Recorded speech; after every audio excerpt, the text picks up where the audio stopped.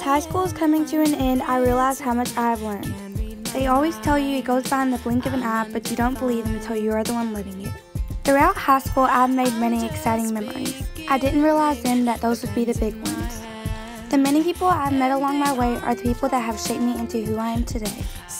As I grow up, I learned that it is less important to have a ton of friends and more important to have real ones. I have learned more from my mistakes than my successes, and I am wiser because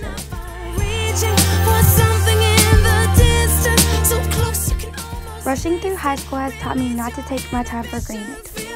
You have to decide what is worth your time and what is not. I am thankful that I had amazing people to help me along and show me what is really worth it. I have no regrets throughout high school because I am very thankful for where I am today and who is with me.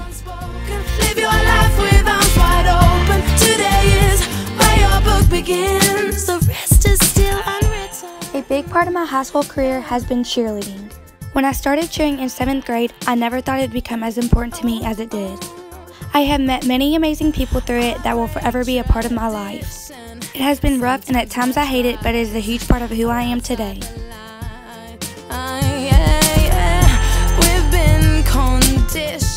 A big lesson that I am thankful to have learned early is to not care what other people think. You have to do what is best for you to be happy. You only live once, so don't think twice. Open up the dirty window, let the sun illuminate the words that you cannot find. I am very guilty of wanting high school to end fast. You hear every senior talk about how much they want to graduate, but we are all realizing now what that actually means. Starting a new chapter in our lives is always exciting, but we never stop to realize how good we have it right now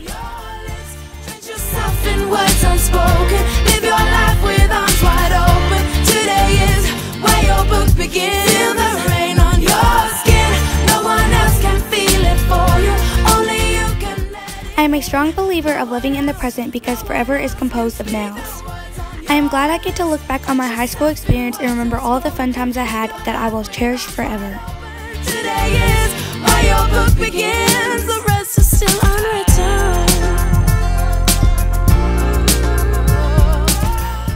I never thought that I would actually be sad about leaving high school.